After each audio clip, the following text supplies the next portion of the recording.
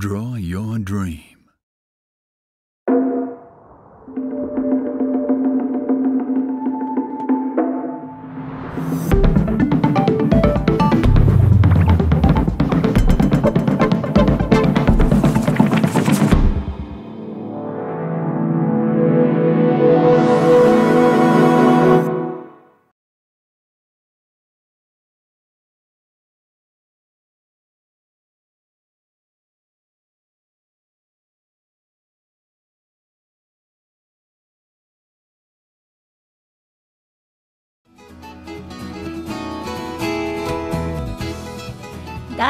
回新千歳空港国際アニメーション映画祭。今年の映画祭は11月3日から6日の4日間にわたり開催しております。それでは皆様お待たせいたしました。ここからのプログラムはコンペティション部門アニメーション作家インタビュー supported by 開志専門職大学アニメ漫画学部をお送りいたします。映画祭では2014年の設立当初より毎年全世界から作品を募集するコンペティション部門を開催しております。今年は94の国と地域から応募された2058作品の中から計71作品が入選いたしました。このプログラムではそのコンペティション部門のうち国内に在住で映画祭にお越しくださったノミネート作家の皆様をお迎えし作品の制作背景やご活動内容についてインタビューを行います。ご登壇いただきますのは11名の作家の皆様です。聞き手は短編部門選考委員の田中大輔です。それでは田中さんよろしくお願いいたします。えー、ただいまご紹介いただきました短編部門選考委員に務めておりました田中大輔です。それではここからインタビューの方早速入っていければと思います。まず、えー、お一人目ですけれども、えー、インターナショナルコンペティション1にノミネートされております半島の鳥の、えー、和田敦監督どうぞご登壇ください。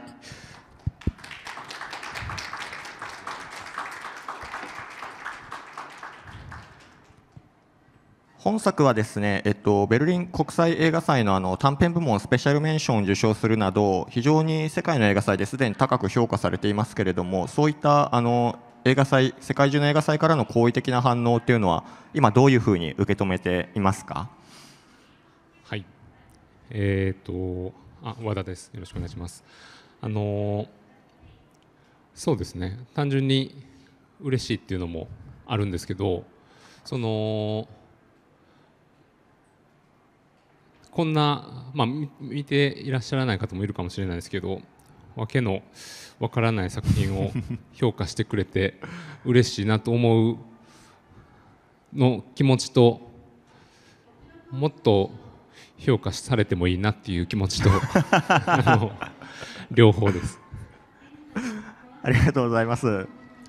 えっと、本作ですねあの神道的な世界観が背景にあるようにも見受けられたりするんですけれどもこの本作のアイデア着想っていうのはどのようなところから来ているのでしょうか？あの企画の構想自体はもう10年ぐらい前からあってでそれはあの日本のお祭りの、えー、ドキュメンタリーのフィルムを見たことがきっかけででそれはそこではまあ、本当に作品の中で僕あの半島の鳥の作品の中で祭りの練習をする子供でそれをなんかこうチェックする大人っていうそういう設定というか構図があるんですけど本当にその見たドキュメンタリーではお祭りの練習をする子供がいてでそれを周りでその踊りを見ている大人が本当にいたんですよ。なので、まあ、言ってみればそのまま設定をもらったっていう感じではあるんですけどもだからそこからあのー、その過去の作品ではそういう儀式的なモチーフいっぱい複数の人が同じ動きを輪になってするみたいなそういうのはよく扱っていたんですけどもその内容的にも儀式っていうものをもう少しちゃんと、えー、考えて内容的にも儀式を扱ってみようかなと思ってそのドキュメンタリーフィルムを見たことでそのモチーフだけではなく、内容的にもそれでいこうかなっていうので。なのでもっと最初からその神道とか、えー日本的なとかお囃子とかなんかそういうのをやりたいと思ってたわけじゃなくてそれをきっかけに作品を考えていったので自然と、まあ、場所が日本になったりそこで使われる音楽が、まあ、お囃子だろうなっていうところで、お囃子になったっていうことがあるのでなんかその流れ上こうそうなったっていうところが強いかなと思います。ありがとうございます。今その今までの作品とはちょっとまあ変えてというか発展させた部分のお話もいただいたんですけれども、そういう意味で言うとあの本作非常にまあ和田監督の持ち味なシュールなユーモアっていうのはそのままですね。あの過去の作品以上にストーリーラインが結構はっきりあって、なんか非常にドラマティックで本当に最後のラストのあのシークエンスなんてすごくエモーショナルなんですけれども、こういったもうちょっと今までの過去作以上にそのストーリーテリングあのはっきりとしたストーリーラインを作ろうっていう意識はあったんでしょうか？そうですね。その儀式っていうのを内容的にも描こうって思った時にその場所が日本になったりなんか設定がより今まで以上に具体的になったことで描くべきものも増えてきたっていうのもあってもう初めから割としっかり作る感じの流れになるんじゃないかなっていうのがで尺的にもちょっと長めになるだろうなっていうのがあって。僕のせいじゃないですよね。元気な赤ちゃんのな泣き声が。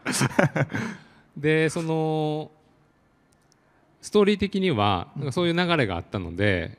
その儀式っていうのをちゃんと描こう。じゃあその儀式っていうのはどういう儀式にするのかとかその儀式というものに対して、えーどういう設定にして、まあ、どういうこう終わりを迎えるのかみたいなのを決めていくっていう感じで決めてたんですね。で儀式を子供から大人になるための通過儀礼っていうことにしようとか、えーそれ、まあ、主人公の男の子がいてそれにまあ馴染めないというか、そこに輪から外れてしまうような男の子がいるっていう設定にしてみたり、であとはその単にその少年から見た儀式っていうことだけじゃなくて大人から見た儀式とかあと女の子が出てくるんですけども女の子から見たか女の子から見た儀式とか女の子から見たその男の子たちっていうようなものをこう複数の視点を描きながら展開させていこうっていうのを決めたんですね。であとはその、まあ、よくやるんですけどもうストーリーとは全く関係のない ただただ描きたい動きっていうのもあるのであの例えば作中にみかん犬にじゃあ犬が走ってきてみかんを持ってきてそれを皮を剥いてあげるってあるんですけどあれ作品に何の影響もないんですよ。ただでも剥いたところを描きたいとかその後犬がペッて吐きするんですけどそうそれをスローで描きたいとかなんかどうしても描きたいイメージみたいな動きとかっていうのがあるのでそれをじゃあ作品にどう、えー入れ込んでいくかなとその物語とか作品にどう絡めていくかなっていうので決めていったって感じですかね。ありがとうございましたはい、ありがとうございます。はいありがとうございました和田監督どうもありがとうございました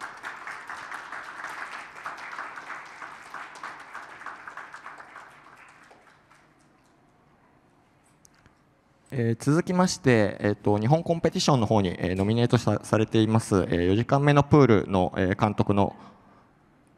小林麻代監督どうぞご登壇いただけますか？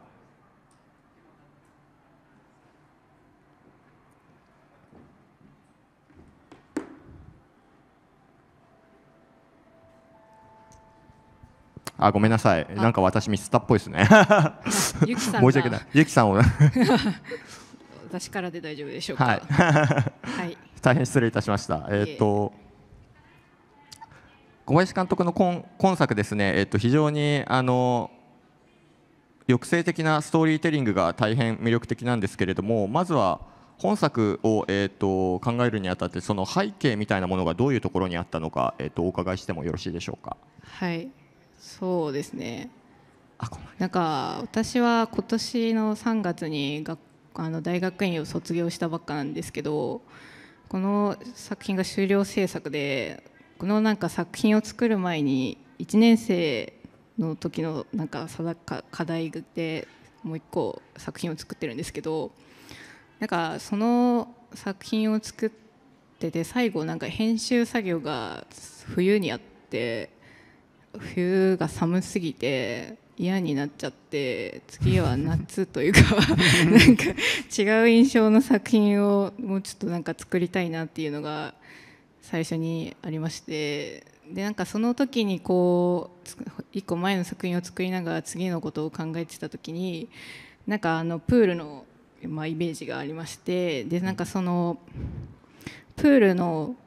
あの水のまた上の空中になんか水着を着てる女の子がなんか空中でプカプカ浮いてるみたいなイメージが頭の中に出てきて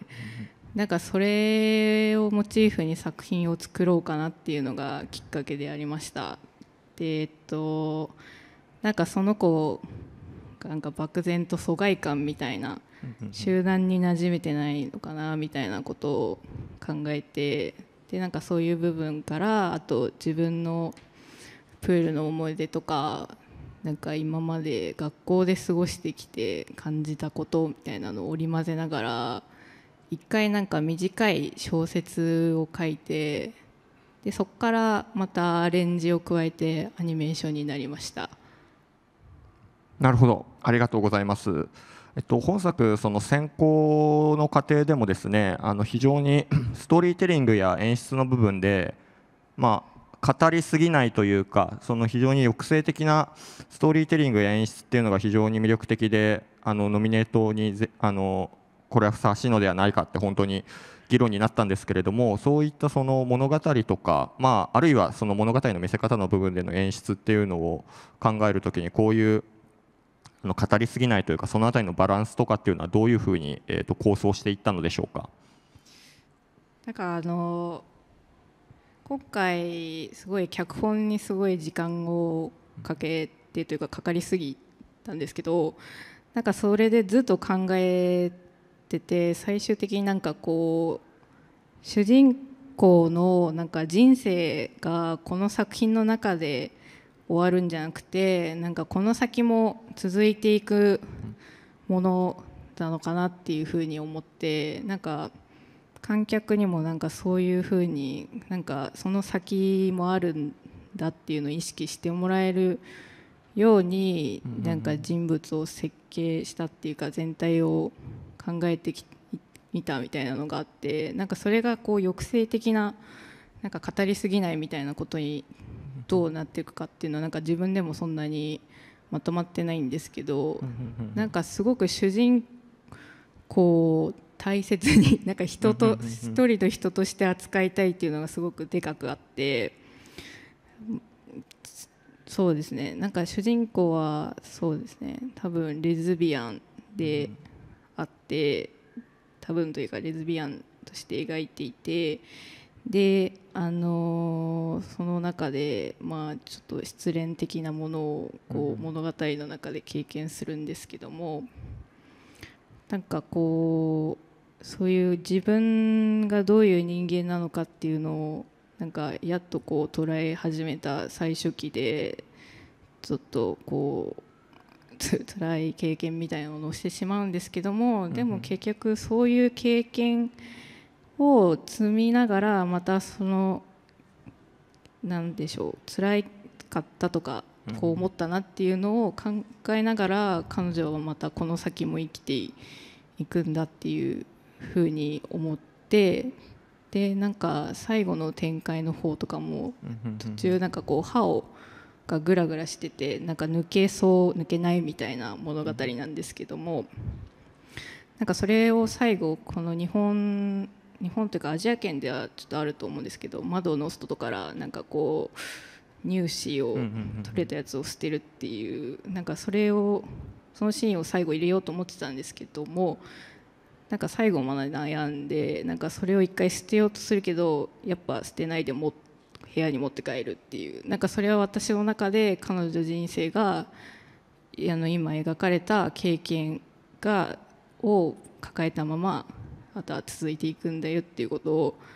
なんか示唆している答えみたいな感じには最後なっています。ありがとうございます。はい本作あのカットアウト切り絵で作られているところも特徴かと思うのですけれどもこの切り絵っていうのを、えーと、制作切り絵で制作したっていうその理由についても教えていただいてよろしいでしょうか？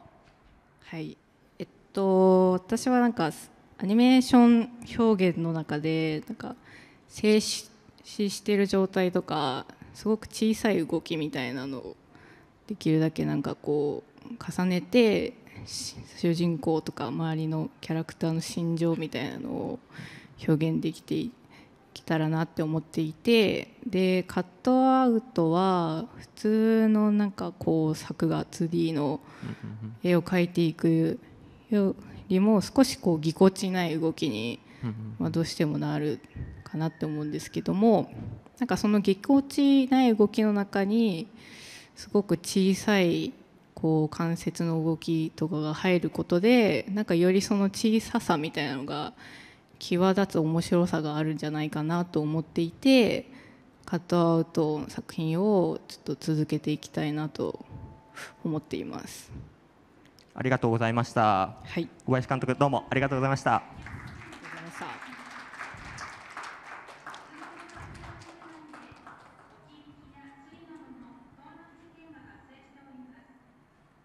ではすみません、えっと、続きまして、えっと、インターナショナルコンペティションファミリーの方にですね、えっと、ノミネートしておりましたミニミニポッケの大きな庭での、えっと、ゆき陽子監督よろしくお願いいたします。ご登壇お願いいたします。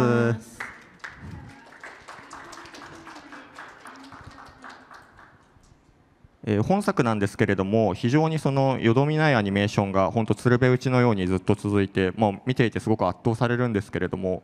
こうした本作のアイディアっていうのはどういうところから来ているのでしょうか？はい、えー、ありがとうございます。えっとなんか最初はとにかくあのいつもの作り方と変えたいっていう思いがすごい強くって、なんかっていうのもあのその前に作った作品が結構あの、まあ、文化庁の助成金とかを申請するようなあの形で作り始めたものがあってそれが結構そのかっちり作ってしまったんですね。その最初に、まあ、あのストーリーボードをちゃんと書いてで、まあ、それに沿ってあの作っていく。それにまあなんか当てはめるような形で作っていったっていう作品があって。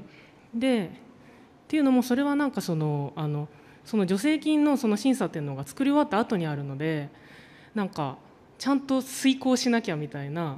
すごい気持ちになって作っちゃったっていうのがあってで、まあ、それはまああのうまくまとまったものができたんですけどなんか自分の中でなんかこう何も発見がなかったなって思ったんですね。その作りながらなんか新しい発見とかなんか自分がこう成長するようなことが特に何もないまま終わってしまった。っていう気持ちがすごく強くあって。なのでなんかそのまあ最初この作品もあのシナリオ書いてとか言ってやってたんですけど、まあ、そのやり方はやめてあのもっとこう自由に作りたいなっていう気持ちがすごいあってなので、えっとまあ、私は毎日絵日記を書いてるんですけどその絵日記からその1ページを抜粋してでそれをまずなんかあの1コマ目を書くみたいな。でその1コマ目を書くんですけどそこから先はなんかあのもうなんかその筆の動くままにあのとにかく書いていくその自分自分のもう終わりを決めずに何だろうなもうここまででいいやというところまでとにかく書いていってであのっていうふうに進めていきました。なるほどなるほど、はい、あありがとうございます。えっと、本作ですねあの物語やアニメーションの部分はもちろんなんですけれどもあの音楽も大変魅力的だと感じておりましてこちらあのコンポーザーとのその作曲家とのコラボレーションっていうのはどういうプロセスで行われたんでしょうか？はいありがとうございます、えっと、私もすごい音楽大好きなんですけど、えっと、これもまずまず音楽作ってもらったっていうわけではなくてそのアニメ先ほどの方法であのアニメーションまず作ってってその短いシークエンスの。であのそれを見てあの新たな詩を考えたんですね。その、うん、なんていうかだから最初に文章があるわけじゃなくて、うんうんうん、あのなんかその景色を見て新たなこうなんかその情景を見て読むみたいな形で、うん、その自分の作ったアニメーションを見てあこれはこういうアニメーションになったなみたいな。なのであのこういう詩を詩がいいかなっていうの詩を考えてっていう感じでそのアニメーションに詩をまず載せた状態で、あのワンセットをまずその音楽の人に渡してでまずその詩を読んでもらうんです。で読んでもらうっていうかなんかこう叫んだりとかしてもらって でそれでまずなんかそのあもっと叫んでとかもっと甲高い声でとかささやいてみたいな注文をしてでえー、っとそれがまあまた戻ってきてでそれがいい感じだったらあじゃあここにちょっと音楽載せてみてくれるみたいな感じで音楽を載せてもらってでまた次のアニメーション作って詩を考えてでまた声を載せてもらって音楽載せてもらってみたいなのをなんか常にこうあのお互いに交換しながらあの最後まで作っていったっていう感じです。なのでなんかこうなんだろうな。本当最後終わりを決めずにもういいよみたいなところまでなんかこう割とこう2人で遊びながら作っていったみたいな感じになります。なるほどなるほど。えっと今ちょっとあのご説明にもあってあの気になってたのがその言葉遊びみたいなこのユニークな詩っていうのをどういうふうにえ考えていったのかなと思ったんですけれども今のお話を伺っているとアニメーションをまず作ってそれに対して自分のなんか感じたことみたいのを詩で載せていくっていう感じだったっていう理解でいいんでしょうか？はいそうですね。なんかあの最初は普通の文章みたいなの載せたりしてたんですけど、すごいなんか新規臭くなっちゃって なんか違うなみたいな。違うなって思ってもっとこうあのなんか詩でもこうなんか遊んだような感じの言葉が、あの多分このアニメーションに合ってるなって思ってあのでもかなり考えましたそこは。あの一番。ででもそのアニメーションが結構もうなんか本当バーってずっと動いてるみたいな感じで結構疲れる感じなのでなんかまあその詩の部分で箸休め的な感じになってちょっとこうまだあのそこはちょっと観客のためにっていうかちょっともう最後まであの一応集中できるようにあの作ったつもりです。はい、ゆき監督どうもありがとうございました。ありがとうございました。えー、続きまして日本コンペティション、えー、ノミネートしております告白夢史清節監督どうぞご登壇お願いいたします。よろしくお願いいたします。まず早速なんですけれどもこの本作のバックグラウンド、まあ、ちょっとご自身の経験とかも反映されているのかなというふうに見えるんですけれどもバックグラウンドの方教えていただいてよろしいでしょうか？はい。えっと、近年中国でもなんかフェミニズムについて問題が結構あって、えっと、これまで無視されてきた女性の問題も、えー、注目されました、えー、私も自分の学校を見て、えー、なあなるほどそういうジェンダーの問題があった。だから私はいつも違和感を感じているということに気づきました。そして日本に来る前、えー、っと乳房の痛みで、えー、検査を受けましたその時病院のパソコンの画面に、えっと、石のような塊の影が映ったんです。えっとその瞬間見ている見ている瞬間私は急になんか今まであったうん女性に対して不条理な状況は全てこの真っ黒な塊の影に落ち込んだみたいです。えっとうんそそれをきっかけに私はこの作品を作りましたそして、うん、作品の最後のシーンと同じように、えー、この社会にあるジャンダー問題、うん、がそんなに簡単には変えられない変えない、うん、変えられないかもしれないが、うん、皆さんも苦痛すら感じているかもしれないが、えー、女性でも男性男性でも、えー、勇気を出して自分の力を使って、うん、何度でもその不条理と戦い続けてほしいという思いを皆さんに伝え伝えたいです。ありがとうございます。えっとこの作品ですね、非常にそのカメラワークや編集っていうのも魅力的だと思うんですけれども、こういうカメラワークや編集っていうのはどのようにして考えて形にしていったんでしょうか？はい、そうですね。えっと実はこのアニメはちょっと日記を書くこと、うん、と同じような感覚で、うん、作った作品です。えーカメラが私の記憶の中で、えっと、中を走り回るようです。えー私は記憶を紙に書き出してみると、あいろいろな共通点やつながりの部分が、えー見えてうん、くるんです、うん。例えば作品の中で、えっとうん、ナプキンを入れたコンビニの黒い袋と、えー私が小学生の頃、えーナプうん、ナプキンを隠してしていたポケットそのどちらも、えー生理が8ということの会見です。えー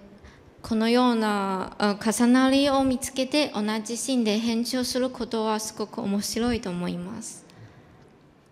ありがとうございます。えっと、この作品が、えっと、初めて作られたアニメーションみたいなところ、はいそうですよね、はい伺って、あのし 正直、選考委員一同、衝撃を受けたというか、初めてでここれ作れるんだっていう驚きがあったんですけれども、アニメーションを作る前はどんな活動をしていたのか、あとはそのアニメーション、どうやって、ま、あの学んだのかっていうところ、ちょっとお伺いしてもよろしいでしょうか？はい、そうですね。えっと、実は大学の専攻はイラストレーションで、えっと、いつか自分がアニメを作ることは、うん、全く思っていませんでした。えー多分大学4年生の時なんかこの陽子さんの「アイミー」という作品を、うん初めて拝見しましたその時感動好きでワクワクして何度も何度もこの作品を、うん、見見ていったうちにやはりなんかアニメーションの魅力に完全にはめはまっていました。えっと、その時私もなんかアニメをアニメを作ってみたいなとそう思いました。えっと、確かに最初は何もわか からないでした。その時なんか iPad のプロクル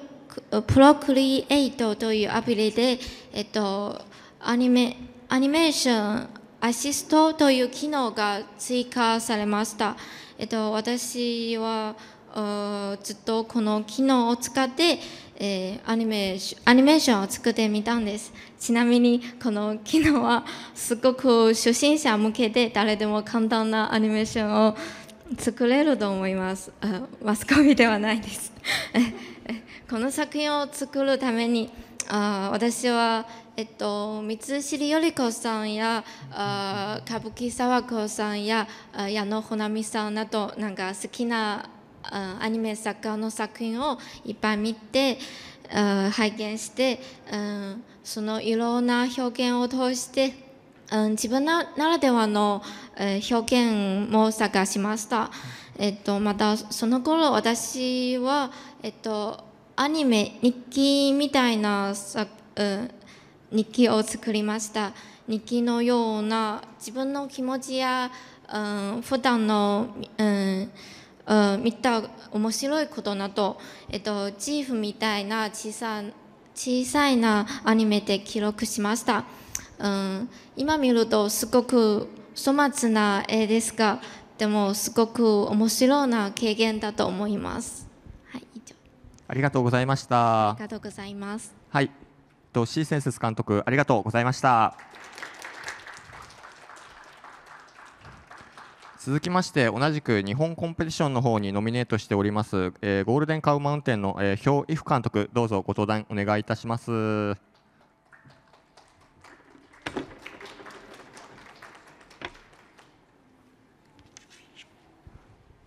よあ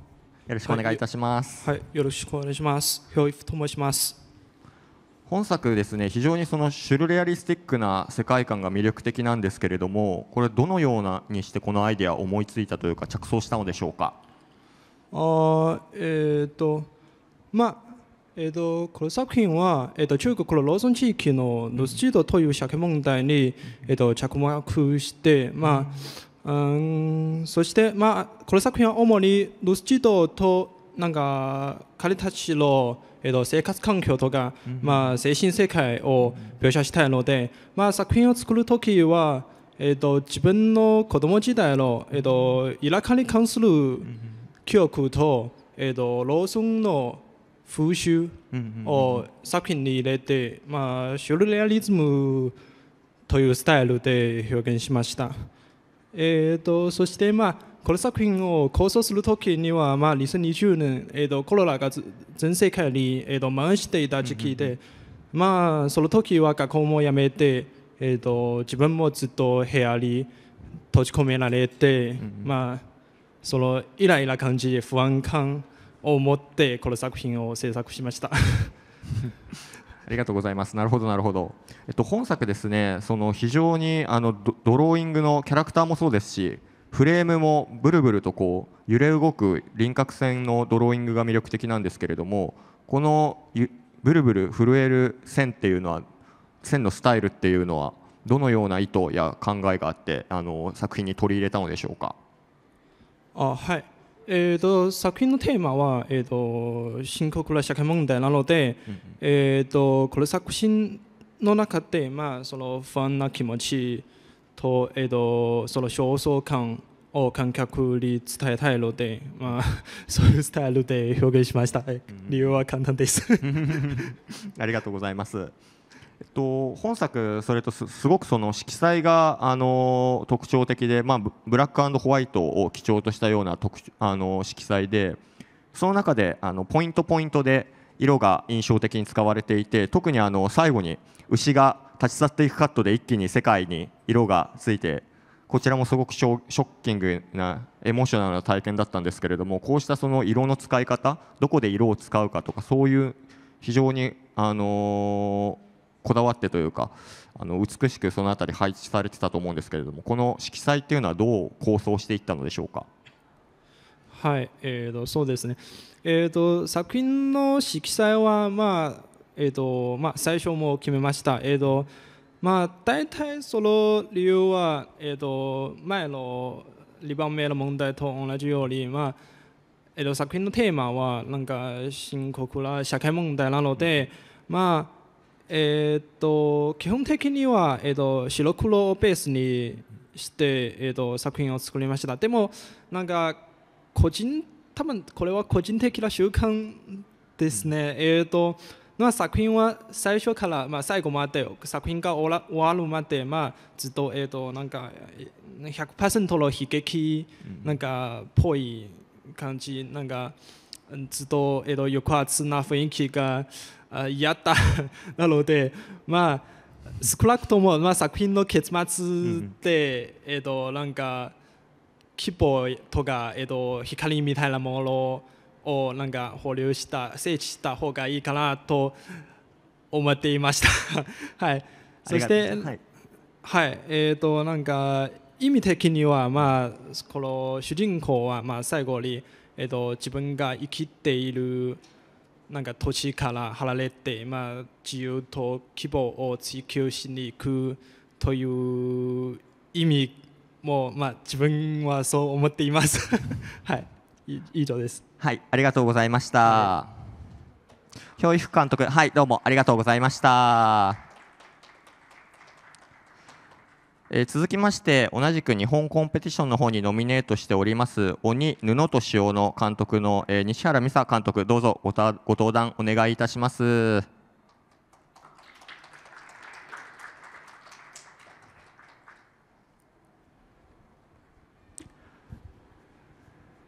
ああよろしくお願いいたします。よろしくお願いします。えっと本作はですねあの神楽に着想を得たそうですけれどもこれ非常にあの取材も重ねられたのかなという作品から受ける印象だったんですけれどもこの制作の背景みたいなところについてちょっと教えていただいてもよろしいでしょうか？はいえーと、私はもともとその広島に住んでいるんですけれども、うん、広島の神楽がすごい好きであのまあ、晴れと毛のもう晴れですっごいもうみんなが楽しくなるようなそういうあのうん。なんか舞う人と見る人が両方楽しいみたいなものなんですけれどそこで、えーと、回れている内容とかが、えーと、すごい面白くってよくあるあのなんていうのかな。膜を使ったあの上手下手みたいなものも当然あるしその中であのキャラクターというか登場人物が鬼であったりそれを倒す武士であったり困っている、まあ、村人的な立ち立ち位置のものだったりとかそういったものをもともとよくあの見ていたんですけれどもそこからさらにあのじゃあ鬼って何だろうとかそのキャラクター自体にすごい興味を持ってでそれから、まあ、そういった話をあの実際に神楽を待っている人たちとかそういう、えー、書籍だとかをたくさん、まあ、拝見させていただいたりお話をしたりしてあの作り上げたあの物語になります。ありがとうございます。なるほどなるほど。えっと本作はですね、あの今まさにその布っていうキーワードも出てきましたけれどもあの人間と鬼だとか、まあ、そのブラインドとして布が使われたりだとかなんかその複数のあのいろんな意味での境界境界線のイメージがすごく印象的なんですけれどもこうしたその境界線のイメージっていうのをあのうまく使っていこう一つなんか物語のあの作品の軸にしていこうみたいなふうに考えたのはどういった意図があったんでしょうか？そうですね。これもあの、まあ、神楽というかうんと日本で回れている多くのそういったものって、まあ、幕使われていることがかなり多いと思うんですけれどもその中で、えーと、幕の、えーと観客から見えるこちら側と向こう側とかでえっ、ー、とそこからさらに向こう側に行けるのは基本倒された鬼だとか鬼の登場とかそういうなんかものがまあ神楽を拝見しているとすごいそういった場面が多くってあの向こうには鬼しか今行けないんだろうなとかっていうのがすごいあったんですね。でまあその中で村人やその武士だとかはその向こうには、まあ、まだ行けない状態なんだろうとか住み分け的なものがもともとよく現れているんだろうなっていうのはありました。でえっとそうですね。布とともにあの塩も出てくるんですけれども布はそういうなんかお互い、まあ、生きやすくするためというかあのうまく住み分けするための装置、えっとまあ、でもコミュニケーションをやんわりとこう避けるための装置であるんですけれども、えっと、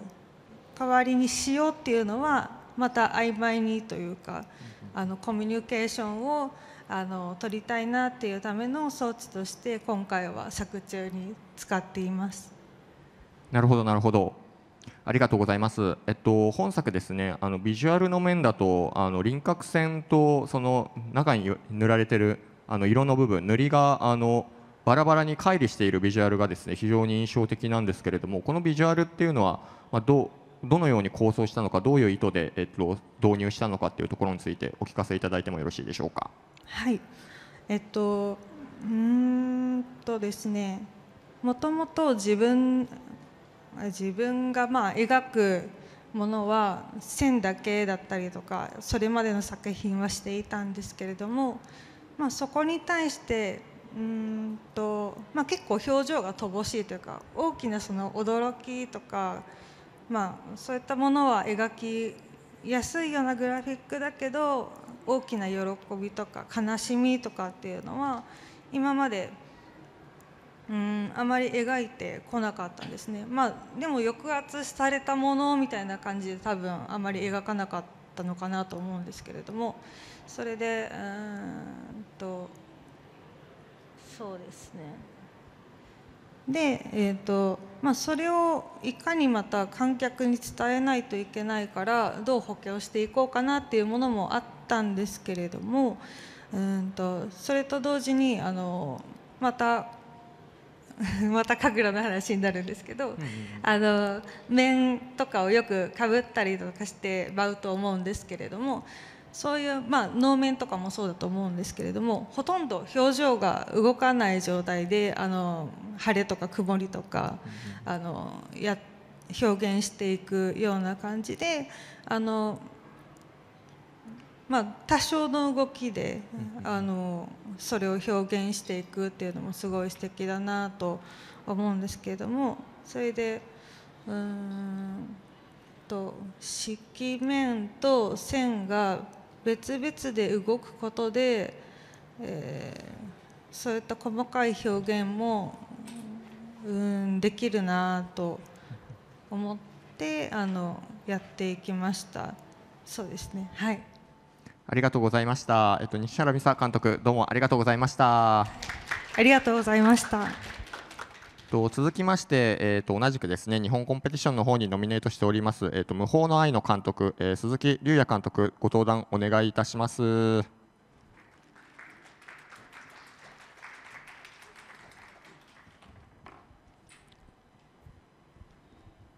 あ、鈴木です。よろしくお願いします。よろしくお願いいたします。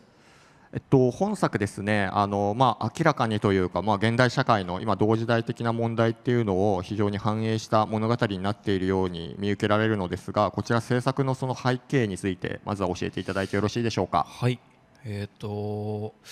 まず去年「まほろば」っていうアニメであの去年も来させていただいてそれで、まあ、いろんな映画祭回ってた時にあの下北沢の映画館の方から「お声がけがあってちょっと短編集みたいなのを作らないかみたいな言われたのが制作のきっかけで、えーと、そこからまあ内容は何も決まってなかったんですけど、まあ、その時期にちょうど自転車を盗まれて自分の。それがめちゃくちゃムカついてて映画の中で何とかしてやろうと思ってそれが作り始めたきっかけではあって またちょっと脚本とかコンテも書かずになんとなく組み立ててって作っててでまあこの間のハロウィンもありましたけど、去年の京王線の事件とか、僕も京王線を使ってるので、結構他人事じゃないなと思ってで前半は結構めちゃくちゃやって。って後半は割とそういう現実的な内容を描くようなドラマにしたいなと思って、っていうのがあってあと、まあ、自分ちょっと歌舞伎町のバーで働いてるんですけど割と朝5時までやっててその帰り道とかで結構、まあ、ちょっと言い方難しいんですけどこう極限の人たちというか、を見かけることが多くてそのニュースとかでも、まあ、なんかいろいろやっちゃった人たちをすごいなんかこう短絡的に伝えてるというか、なんとなくそういう人たちに何があったのかなみたいなのを帰り道によく想像してて、もうちょっと考えてみたいなと思ってあの人物を作った感じが大きいです。はい、なるほど。ありがとうございます。今ちょっとお話の中にもあのあった通りその前半と後半でやっぱり物語のテイストも少し変わると思うんですけれども、はい、なんかそれに合わせる形であの前半が何て言うんでしょうかスマートフォンで撮影したみたいな画面サイズになっているのに対してあの後半はあのいわゆる映画のサイズになるというこの画面サイズの、えー、と変化っていうのはですねあの今あのご紹介いただきました前作前回のこの映画祭の方でも上映させていただいた、はい、まあ、滅場でも非常に印象的に取り入れられていた記憶があるんですけれども、うん、その映画の中でその画面サイズっていうのをどう使っていくかっていうのはですねどのように考えているんでしょうか？そうですね、えっと自分がちょっと本格的にアニメを作り始めたのがついこの間ぐらいの感じなのでアニメ部分ではもう本当にずっとやってきてる人たちにこう追いつけないなと思っててでもなんかこう自分が新しいことに挑んでるっていう姿を見せる方法として使ってるっていうのが一番大きいんですけど分かりやすく。そうですね。でちなみにこの「無法の愛」に関して言うと今回入選したのが劇場版みたいなやつで全編こう16対9なんですけど、えっとスマホ版っていうのもあってずっと縦で見てて途中から見てる人がこう傾けないと見れないようになってるような仕掛けを作っててでそれをしたっていうのがこう、まあ、自分は映画館がやっぱり一番好きなんですけどでもそれこそ帰りに電車の中でスマホで映画見たりもするしそういう時代が変わっていく中でなんかこうスマホ版と映画版で分けられてかつ劇場で見た方がより迫力を感じられるようなことをやりたいなと思ってそういうのを入れました。なるほどなるほど。ありがとうございます。えっと、本作ですね。あの過去の割とその名作映画みたいなものの記憶を想起させるようなあのカットとかショットっていうのは、まあ、結構しばしばあったりするんですけれども、本作にその影響を与えた映画に限らずでもいいんですけれども何かその作品とか作家とかいたりするんでしょうか？そうですね。結構キリがないぐらいなんですけど まず去年この映画祭のグランプリだったイースター X っていうのがとっても好きでこういうタッチで次は作りたいなと思ってた意識は大きくて。で、まあ、別々で上げていくと主人公のキャラクターは、えーと、リチャード・ジュエルっていう映画の警官とかあと「マグノリア」っていう映画に出てきた警官とか。であと前半は「トゥルーロマンス」とか「ワイルド・アット・ハート」とかあと「ナチュラル・ボーン・キラーズ」とかちょっと大学の時にハマってた結構クレイジー系の男女逃避行ものみたいな映画を意識して後半はまあタクシードライバーとかジョーカーみたいなものを意識しましたね。なるほどなるほど、はい、ありがとうございました。ありがとうございます。鈴木龍也監督どうもありがとうございました続きまして、えーと、ミュージックアニメーションコンペティションの方にノミネートしておりました、えーとナイえー、ナイブスレインの、えー、ビーゴーンの監督、えー、ラシカ監督どうぞご登壇お願いいたします。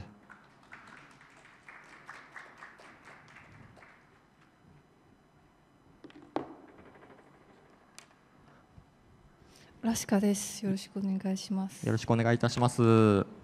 えっとこの作品そのまあ音楽がいわゆるメタルコアみたいな音楽になってるんですけれども、そういう音楽にこういう映像を合わせるのかっていう意外性に非常に驚いたんですけれども、まず本作のアイデアっていうのはどこから来たんでしょうか？はい。まず聞くあの質問を聞いてあのどこから意外性を感じたのがむしろ気になりまして あなるほどなんかこの組み合わせは私にとって結構自然発生というか、はい、という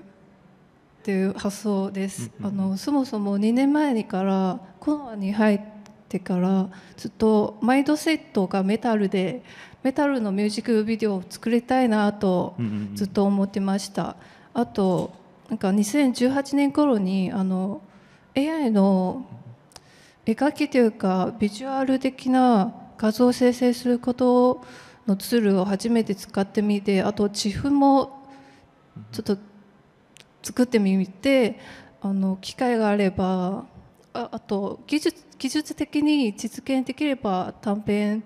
を AI の要素で作りたい技術的に作りたいなと思って、えー、なんか今年の今年の頭にちょうどその全部叶えてくれるあのチャンスがやってきてそれをすぐ受け入れました。あのこのチャンスというのがあの中国でのスリーボケーブを作った蔡彩ペもあのそこにレジデンスで作品を作り、作ったあの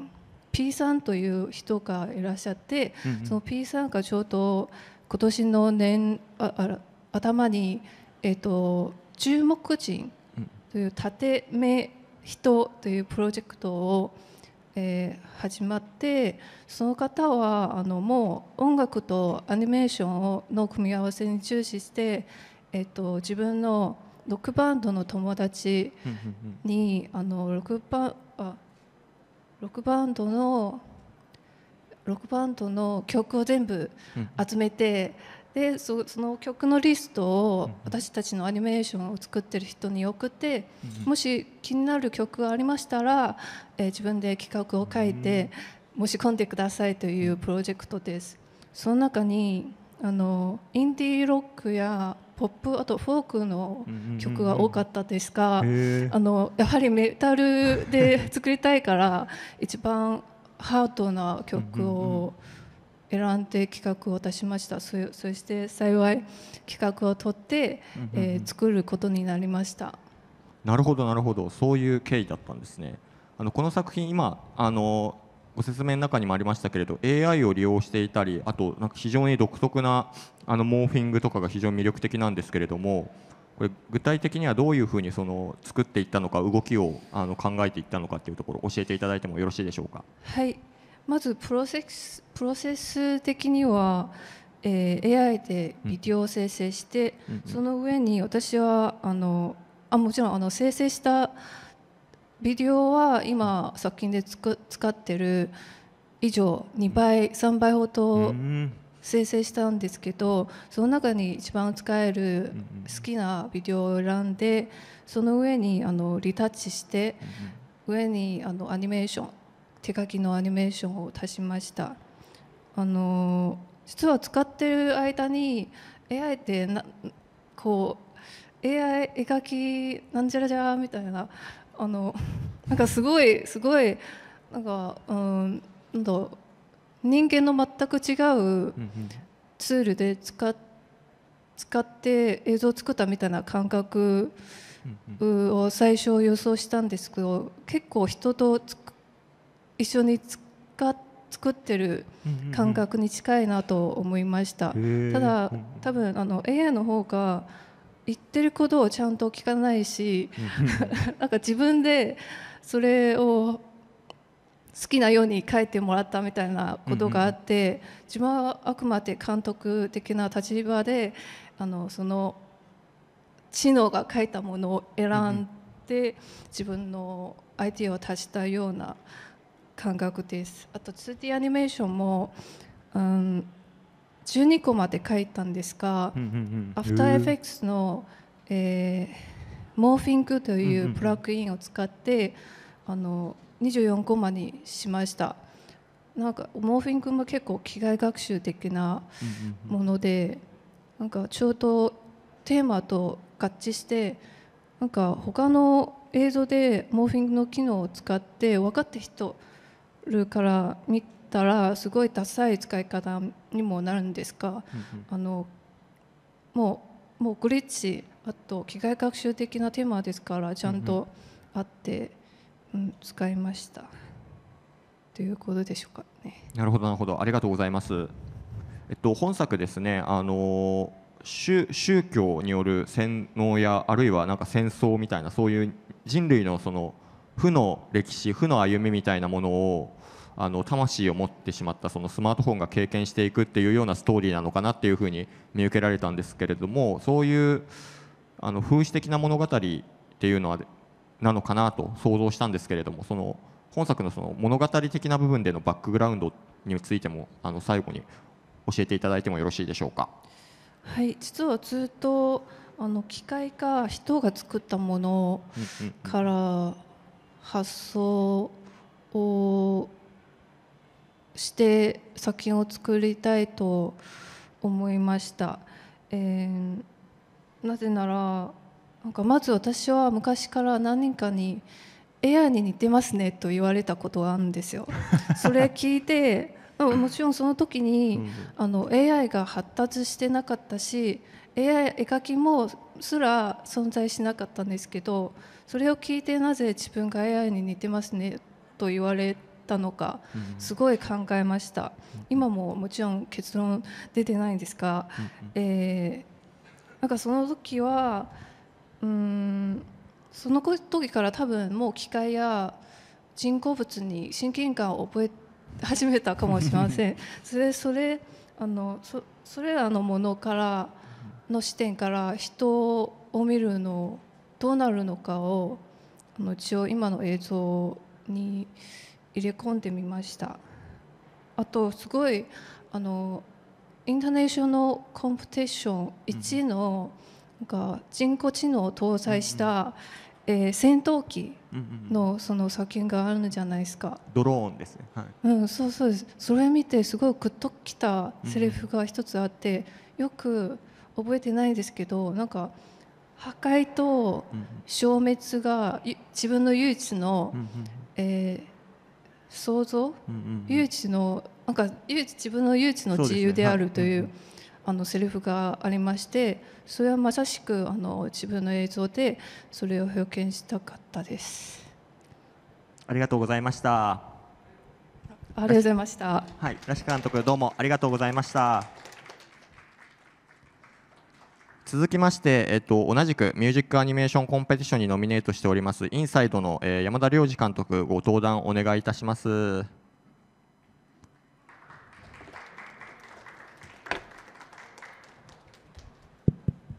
ろしくお願いいたします。お願いします。とまずあの率直に本作のこのテーマっていうところはどういうふうにあの設定していたのかっていうのを教えていただければと思います。はい、えっと分かりやすく言うと、えー、2つぐらいのまあ点があってコンセプトがあって、うん、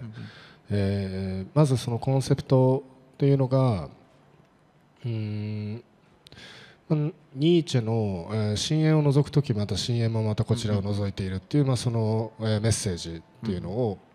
えー、楽曲のまあ歌詞だったりとか、えー、曲の構成からインスパイアされて、えーまあ、そのティーンエイジャーが持っているそのまあ苦悩だったりっていうところをそこに当てはめて、えー、構成を作っていったっていうところが一つと。でもう一つに関しては、まあ、そのなんか最近のアニメーション界隈のそのなんか割とこうバロック化するというかメタボリック化するようなその表現の部分に対して、まあ、あえて示唆的にあそのメタボリックなところをどこまで追求できるかというか、まあ、表現至上主義の作品というのをどこまで作れるかっていうのを、まあ、テーマに作りましたなるほどなるほどありがとうございます。えっと、本作はですねあの山田監督の近年の作品と比べると比べてもよりダイナミックなアニメーションだったと感じるんですけれどもあの本作のその作画アニメーションの方針っていうのはどういうふうに、えーと、構想していったのでしょうか？はいえー、っと作画の方針だったりとか、まあ、全体の作品の方針っていうのが、まあ、まずフルフレで書くっていうのがあって、まあ、1秒24枚書いていて、えーまあ、なかなかその広告だったりとかミュージックビデオの仕事の中とスケジュールがあって、なかなかそういうまあ、大体まあ2コマが限界だったりとかするんですが、まあ、今回はまあある程度そのスケジュールがあったっていうこととあとスタッフの人っていうか、まあ、そのチームの構成がかなりその完全な状態になっていたというか、まあ、理想系の状態になっていって、まあ、でかなり上手い人もみんな揃っててでみんながややったことないことやろうっていうのがあって、うんうん、で、まあ、僕はずっとそのフルフレで書きたいっていうのがずっとあって、まあ、なんかその、うん、自分が作った作品、まあ、例えば2コマ3コマぐらいの作品を、うん、タイムリマップで、えー、フルフレにしたりとか、まあ、そういうなんか変な実験をしたりとかするんですけどやっぱその時の気持ちよさっていうのがやっぱりあってでそれをそのまま作品にしたらどうかっていうのをトライした感じですね。なるほどなるほど。はい本作ですねそれに加えてあのベイパーウェーブシンセウェーブ的といえばいいんですかね、まあ、そういうルックがあの非常に同時代的だなと思ったりしたんですね。その一部のカットでは本当キャラクターの輪郭がキラキラとあの色をきらめくみたいな表現もあったりしたと思うんですけれども、まあ、こういったあのコンポジットや VFX って言えばいいんですかね。アニメーション制作工程でいうと。そういう部分そのルック全体のルックの作り方っていう部分に非常に創意工夫を感じたんですけれどもそのあたりっていうのはいかがでしょうか？そうですね。そこもそのチームの構成が理想的なものになっていったものの、えー、から来てる表現の一つなんですけど、まあ、初めからその、あのまあ、音楽自体がインターネットカルチャーの、まあ、インターネットミュージックですかね、まあ、そこから出ているものだったりはするので、まあ、その表現的なところもまあそこから、あのー、まあ、リンクするようになればいいなっていうのがあって、でその VFX 的なところでいうと、まあ、例えばアフターエフェクトとかの部分だとやっぱ限界があるっていうところをその、まあ、広告だったりとか、まあ、いろんな仕事でご一緒している、まあ、あの合戦の太田さんとかいるんですけどにまあお願いして、まあ、もうその VFX でかなりもういろんなところまで粘ってくれる方がいるので、まあ、しかもその人面白いのが、まあ、実写をそもそも実写の VFX をやってる方で映画とかの。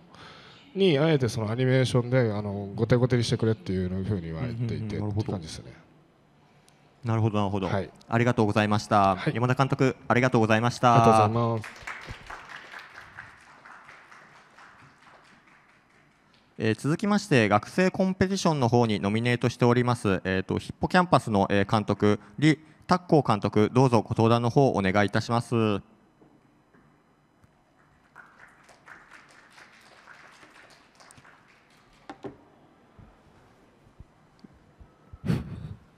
よろしくお願いいたします。よろしくお願いします。本作はですねあの実際の経験に基づいた物語なのかなと思うんですけれどもこの作品のバックグラウンドについて教えていただいてもよろしいでしょうか？はいえっと本当の物語ですあの現実にあの経験したことをベースに制作した作品です、そして、まあ、作品の中に出たあのおばあさんとの会話は本当の実際に発生した会話の内容で、まあ、一軸の木の話とあの白アリの話もあの、まあ、小さい頃からあのおばあさんの家のまあ、めっちゃ強く印象があった、あのモチーフです。ありがとうございます。えっと本作ですね、その木炭のそのドローイングだったり、あとその記憶の描き方っていうところで、あの個人的にはそのウィリアム・ケントリッジなんかを、えー、連想したりもしたんですけれども、その本作を作る上で影響を与えたり、あるいはリファレンスとなったようなアーティストや作品っていうのは存在するのでしょうか？はい実はいっぱい存在してます。えっとさっき言ったあのウィレム・ケントリッジはもちろんウィレム・ケントリッジの作品は、まあ、作品を作る中に、まあ、強く影響を受け入れてえっとまあ気泡より気泡よりあのウィレム・ケントリッジの創作理念は強く、うんうんうん同感してそのウィレム・ケントリーチからいろいろ学ん勉強に、あのなりました。そして他の作家とかあの作品とかもあるけどえっと一つ、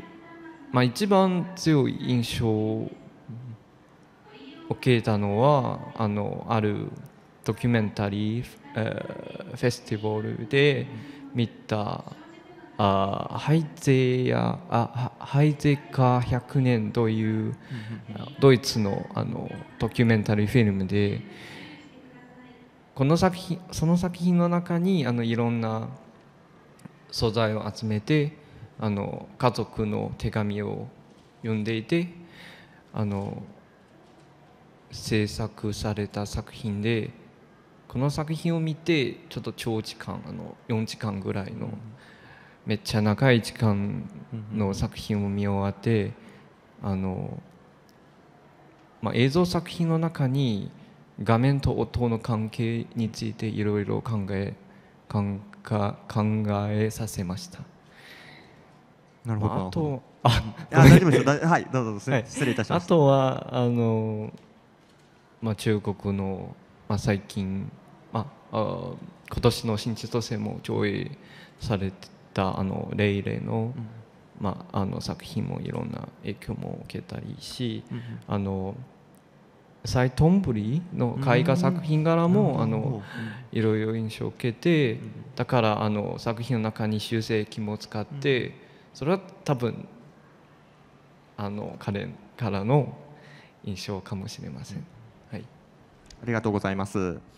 えっと、本作にはですねこの作品の中に流れるその時間の流れっていうのが非常に複雑でそこがこの作品のあの一つの魅力かなと感じているんですけれどもその、まあ、アニメーションはタイムラインがあるのでその時間芸術と表現されることもありますがこの本作においてその作品の中に流れる時間っていうのを操作するっていうのはどういうふうに構想していったのでしょうか？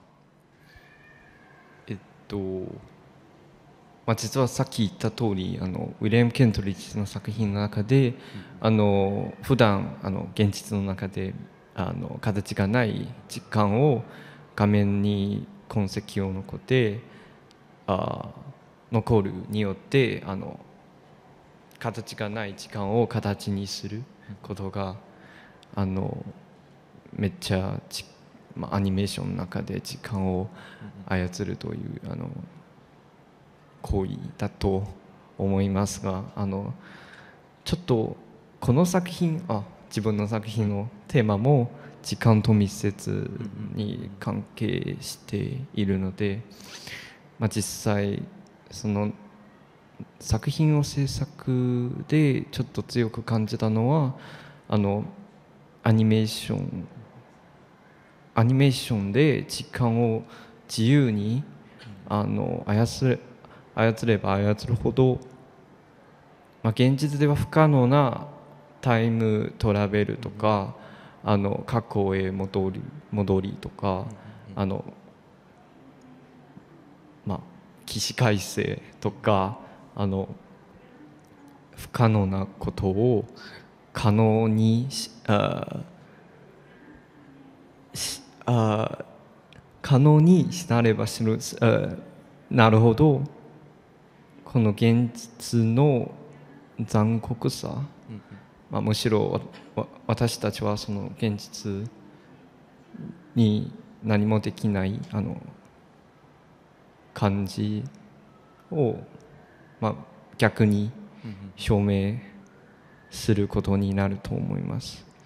えーと、このような観点から見るとアニメーションというメディアはあの悲しあ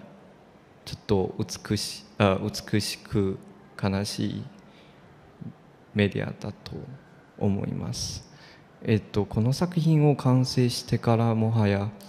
2年を経つことになりました。えっと、今からそのそうこの作品を創作した自分を振り返ると、まあ、いろいろ新しい感想が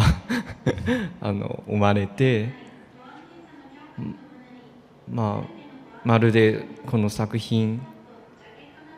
アニメーションによってこのある種成長を自分を成長するため、まあ、過去の自自己過去の自分と、まあ、一部の自分とさよならを言わなければならない。だからあの、あ、る種の過去という痛みへの弔いとも言えるそうだと